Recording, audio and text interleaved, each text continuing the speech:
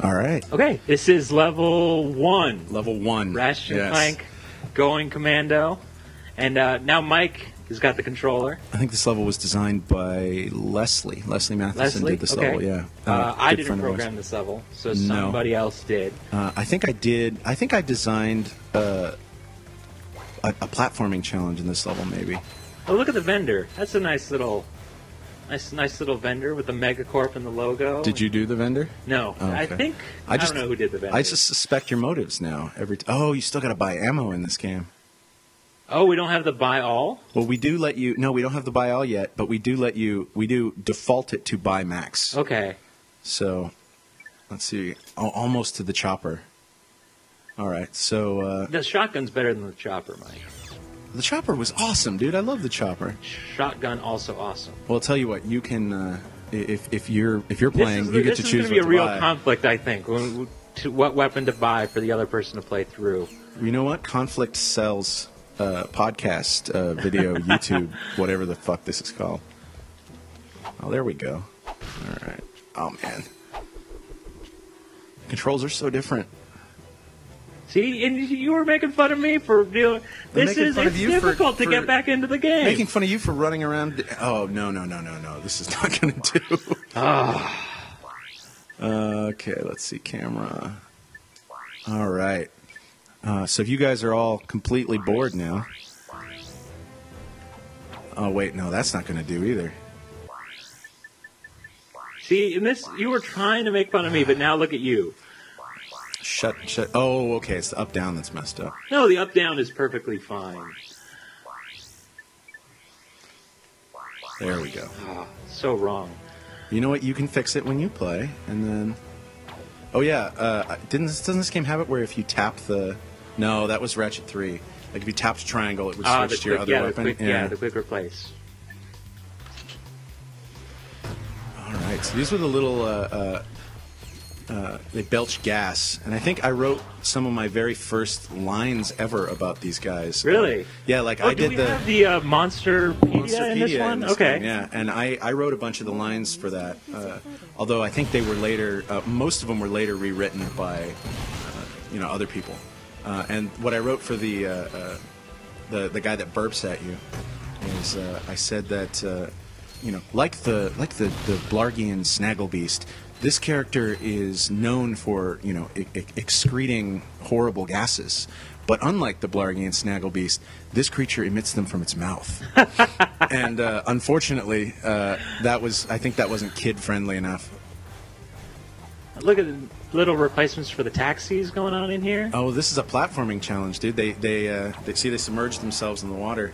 I remember the kids had a hell of a time with this in uh, in the focus tests. Uh, we we had to do a lot of revisions on uh, on those, if I remember correctly. Man, I don't remember any of this, Mike. I don't remember. Yeah, well, that, that's because you just sat in your little corner and played your own levels. I played my levels, and that, that's all I cared about. And that's you know, Was, was Moo on this game too? Did you play Moo's levels, um, or was he just Ratchet? Did he come in Ratchet? too? I don't even remember. You know what? Uh, So much of it blends together, and that's really the problem I have. Is I think a lot of going commando levels are in Up Your Arsenal, and I think a lot of Up Your Arsenal levels are in going commando, and I'm just wrong about everything all the time. um, The uh, uh, Ken Strickland was on this game though. okay, I, I, I think. Pretty sure. I think he came in near the end, like he did the credits and some other stuff. Uh, Ken, if I'm if I'm remembering it wrong, you know, call me up and yell at me. Well, I think there's a like a secret around here. You can get a gold bolt if you. Uh, you better find it the right then. way. Don't don't leave the gold bolts just lying around. I think you, you ride oh, this guy a little that! longer oh, than you see, think look you at need that. Clever. That's very clever. Yeah. Uh, either that or I just went the critical path right now. No, you just got lots of bo- bolts. That's true enough to go buy the chopper. No, you want the shotgun. I don't know what they call the shotgun, but it's a shotgun. I don't know what the proper name for it is. Uh, I'm, I'm, the Garcianator. Is that what we called it? The the Tonytron. There should have been a golden bolt there. I, I like these little dinosaur guys. They're cute, aren't They they? got a lot of personality. Yeah. You know what? That's the Ratchet way. You take something like a platforming challenge, and you add a lot of personality to it and make it better. You know what? You take something that's already good and you just make it better. And that's how Ratchet. Break those lampposts, Mike. There's a lot of hard work that went into those lampposts. we have to showcase them. You know, I think the uh, I think the gold bolt is over across that way, but I'm not going to go try and get it. I'm not that type of player. Look at that. Look at the way that broke. It's amazing. The way you talk so highly about it, I think it was you who, who coded it. I just appreciate good work. And it just so happens that I do a lot of good work. oh yeah, and we had the the flip still. Yes. Oh man, I used to do this a lot, uh, especially during wrench playthroughs. Uh, also, yeah, for you know, piece of trivia, not regarding this game, but uh, Ratchet One, Tony was the only person ever to go through the whole game using only the wrench. Thank you, Mike. I'm not one normally to toot my own horn, so I'm glad you added that little bit in there for people. Did you just do that so that I can make a, a horn tooting joke? No. Okay. So here's another little thing: the um, the little death effect on organic enemies. Took us a long time to figure out what would be a good death effect for enemies, because you got to Right, figure out the- what an enemy is supposed to do when it dies. And I think what we ended up coming up with fictionally was that they dissolve into nanotech, because nanotech is life in this universe, I suppose. Yes, but for some reason didn't uh, doesn't give you Right. uh, unless they are uh, gross enemies, in which case they they go splat with a green splat. Right. So there's bug enemies that splat, robotic enemies that explode, right, because explosions are great. and then organic enemies. We had such a hard time figuring out exactly what you do with an organic enemy when it dies, and because we didn't want them to just fade away and not be in, you have to put something on there. And so I think we ended up coming up with that nanotech effect. I think it was a good effect that'll put on these little guys. And I think still used to this day. Uh, not the exact same effect, but the, uh, uh, the the general idea that nanotech is what happens on organic enemies. Oh, here we go, some sliding. nice big tunnel. Oh, something's down here. Yeah, tractor beam. We get the tractor. Oh, beam. is this tractor beam time? This was you then. This Uh, is I didn't. that you did. I didn't design this. No, uh, this this tutorial. Uh, Leslie designed this. I Okay. did the the next. the next tractor beam. Yeah, in, in Okay. Space Vegas, uh, registered trademark. We had to. ch- We actually it was called Space Vegas. We had to change it to uh, whatever it ended up being called, the Maktar Nebula or whatever, because uh, because it turns out that Las Vegas is actually a copyrighted term. Right. And that's why we're just saying it over and over and over again. because we want to get. By the way, uh, if, if if anyone at Sony Computer Entertainment is hearing this, please don't sue us. Yes. Please.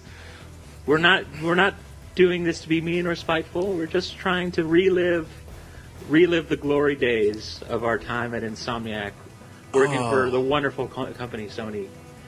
So this is uh this is when you still had to buy the gadgets. Yeah. You still had to pay money to get through the critical path. I'm not going to be able to afford the chopper. you That's know. exactly how I like it. But you know what? There's still another segment in this level. well, we'll see how it goes. I'm hoping. I'm hoping that the game's on my side on this medium-sized one. Which have glowing orange targets like these. Press circle to move those columns. oh, I know there's a gold bolt here. There's a gold bolt up there. Uh, so the uh, yeah, the tractor beam's one of my uh, one of my big uh, I guess failures as a designer. And it feels horrible to say, but there are a lot of failures in this game on my part. Where did it go? Oh, it's over there. It's not gold. These are platinum bolts in this. Oh, right. We're- We haven't gone to gold. No, no, gold was in the first game. Oh, it was gold. Okay, now we're on platinum. Now we're on platinum bolts, it. which I guess. Whoa. Oh, that didn't happen. That Uh, did no, no, not no. happen at all. That did happen, and that bug is Roberto. because he did the camera. Uh, when we were on, uh, uh, when we were testers on Ratchet One, Roberto would tell us we'd never be able to pi- uh, pin a bug on him. Right. And I think I just fucking pinned a bug on you, Roberto. No, no, that was that was actually the fault of the person who coded up the tractor beam. It's not my fault, but I fixed it anyway. All right, I'm actually gonna gonna do this this time instead of just- orange targets like these. Press circle to move those columns so you can scale the cliff. Thank you, help desk lady. You remember? Uh, I, w- I actually got a big kick out of in the first game where you actually get to meet the help desk lady. right. Uh, That's right. Oh, and uh, we went through some iterations on the new help desk lady in this game. Uh, Mm-hmm. I remember she had a British accent for a while. Yeah, there was a lot of back and forth. You know what? Pretty much everything that happened in this game, there was a lot of back and forth on. people don't realize how much time went into just even the smallest detail, making sure that it fit into the universe and that it worked. You know, that it invoked the right feeling that we wanted to evoke from people. Had a sense of place and and space. And, Yeah. And whimsy was very important right. too. Whimsy and uh, you know gravitas. I Yeah. think. Um, help me out. I need another. I'm not good with words. You're the you're good with words. I don't. All right. Uh, a sense of uh, urgency. Uh, oh, the buzzword back in uh, uh, in this year when we made this was visceral. Visceral. That's Yeah. right.